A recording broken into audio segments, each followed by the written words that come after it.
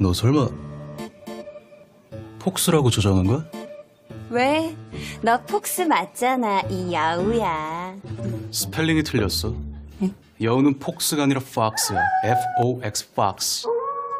뭐? 끝낼 땐 끝내더라도 서로 매너 있게 끝내야 되는 거 아니냐? 매너?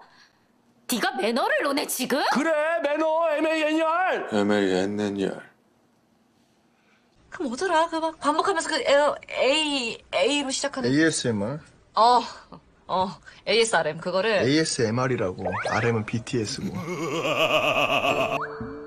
형 키스 카페? 가 바점이 그렇게 안 도왔나요? 네. 즈라 그랬는데 즈 키즈 카페 키스 카페 키즈 카페